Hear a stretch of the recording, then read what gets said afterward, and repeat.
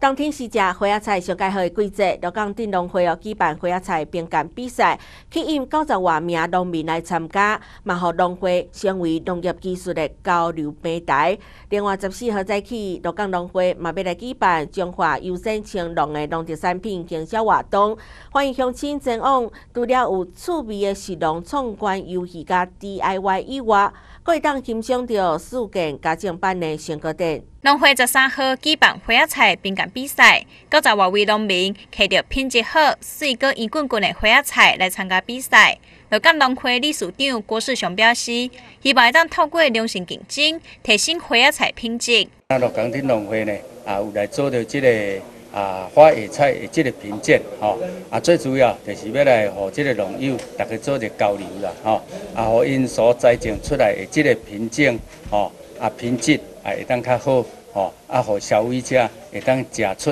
啊一个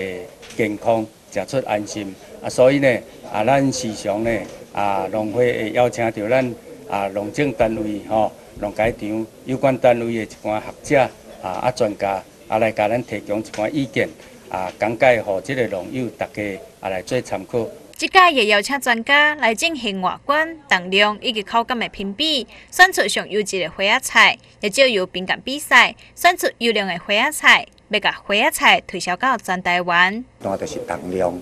第二个阶段就是外观，哦，然后咱才出二十五名，哦，加迄个这这两部分，哦，分数较悬的，啊，咱才过来用蒸煮的方式，啊，来看伊的口感，哦，啊，伊即嘛，哦。咱中华关所有的迄个咧种花野菜在农友呢，吼啊，伫咧用药的安全方面啦，吼嘛真注重啦，吼会当互消费者来买去了，食了真安心。十二月十四号，鹿港灯笼会过来举行中华优先青龙农特产品营销活动。中华新闻林桂英，鹿港采访报道。